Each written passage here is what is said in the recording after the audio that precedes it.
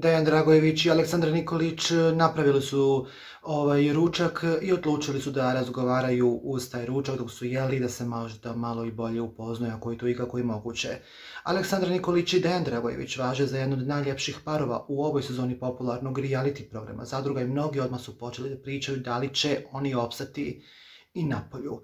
Međutim, neki govori da hoće, neki govori da neće. Ovoga puta Aleksandar Nikolić otkrila je simpatične stvari svog života koje do sada niko apsolutno nije znao. Jel ti znaš da sam ja kao mala čuvala ovce? Stvarno sam znala da čuvam ovce.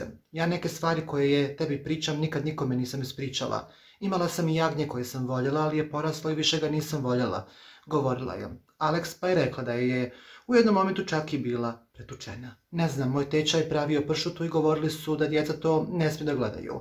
Ja sam slušala kako skiči i kada sam to vidjela, oni to predosjete. Znaš koliko sam plakala. Bila sam ljuta na tetku i teču, ja to nikad ne bi mogla da uradim. Prebili su me jer sam gledala to. Rekla je Aleksandra Nikolić i otkrila neke stvari Dejanu koje, kako ona kaže, nikada nikome nije rekla, ali eto, pred Dejanom se opustila, zavoljela ga i odlučila da mu kaže neke stvari koje nikada nikome nije rekla. E, što ti je ljubav?